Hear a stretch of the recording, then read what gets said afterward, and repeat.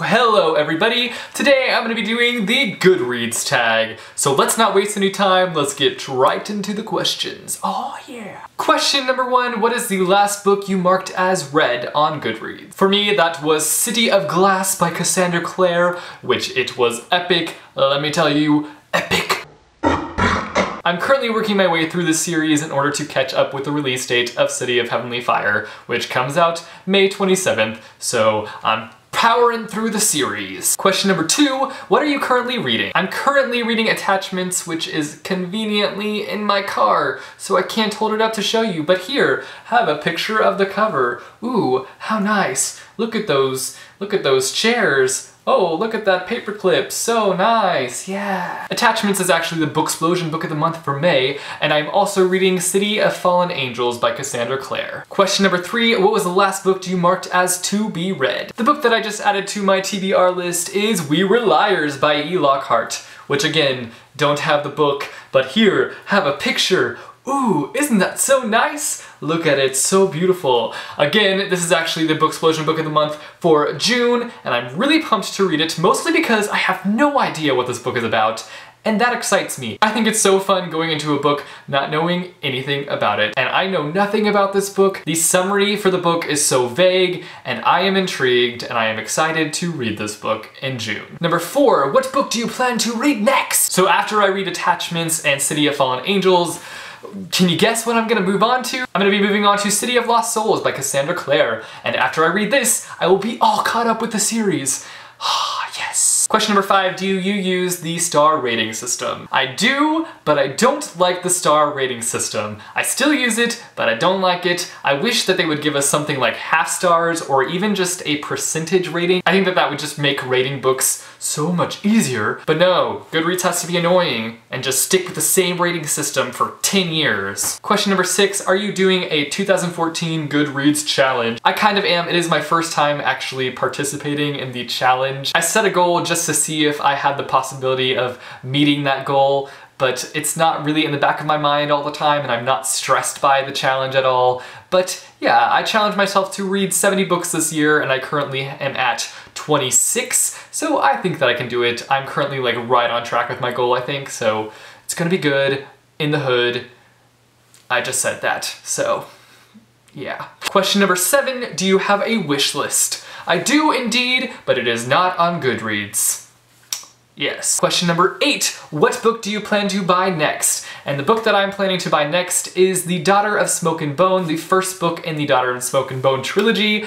Reason being is because Katytastic has been after me about reading that book and about reading that trilogy, so I'm giving in, I'm going to buy the book, and I'm going to read it at some point this summer for Kat from Tastic because she just really wants me to read it, so I'm going to do it because she says it's good, and I believe her, I trust Kat's opinions, and I am actually really excited to read it because it just sounds really interesting. Question number nine, do you have any favorite quotes, and would you like to share one? Yes, I do, and no, I don't want to share it with you. Kidding! Let's share. Okay, so this one is from Neil Gaiman's Make Good Art.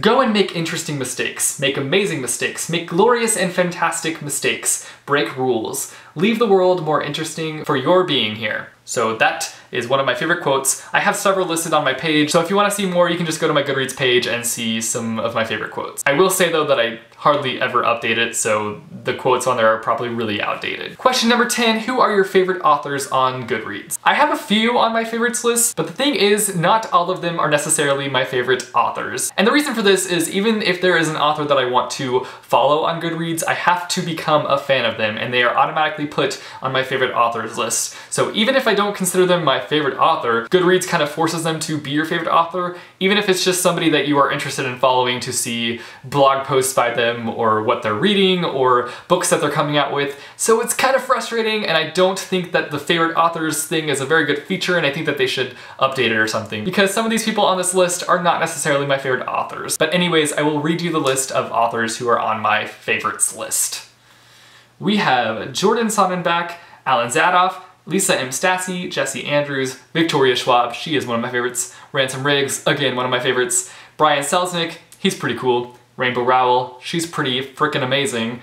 John Corey Whaley, he's pretty great too. Maggie Stiefvater, I'm a fan. Lemony Snicket, King, Daniel Handler, Boss. So yes, there are a few on there that are my favorite authors, but again, like I said, a few of them are not necessarily my favorite. Question number 11, have you joined any groups on Goodreads? The only group that I actively participate in is the Booksplosion group, because let's be honest, it's the bomb diggity. Get it? Booksplosion, books, bomb, explosion, diggity, books, yeah? Cool. Question number 12, what could Goodreads do better? Oh man, do I have a list? I have a list, and I'm gonna share that list with you because I think Goodreads could use some updating, so let's just see what I have on my list. Firstly, they could update their freaking layout. I'm pretty sure that they've had the same layout for like five years. They need to change it. Let's be honest, I have nothing wrong with layout, I think it's great, but sometimes you just need to change things up a little bit, spice up your life, you know? They need to remove friend limits. It's not fair. I want to be friends with all of you and I can't because they have a limit on my friend count. The notification system is so annoying. It updates you on literally every little thing on Goodreads, and I should be able to modify the notifications that I get. The rating system, I've already talked about my feels on the rating system, but give us half stars or percentages. Either of those would make my heart happy. The commenting system is really annoying as well. It's just really messy and disorganized and I wish that it was more structured. And the search bar is probably the worst ever. They need to update the dang search bar. It is so bad. I genuinely love Goodreads and honestly, I don't even really care that much about all those things on that list, but those are just some things that I think that they could improve on. So that's the end of the tag, and while I'm here, I'm gonna go ahead and update you guys on some of my social medias because I am talking about a social media website. So go ahead and follow me on goodreads.com facebook.com backslash Jesse the Reader, instagram.com backslash Jesse George, twitter.com backslash Jesse the Reader.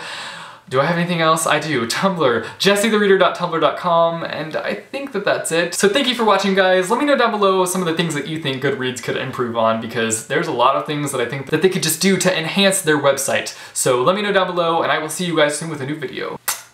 Later!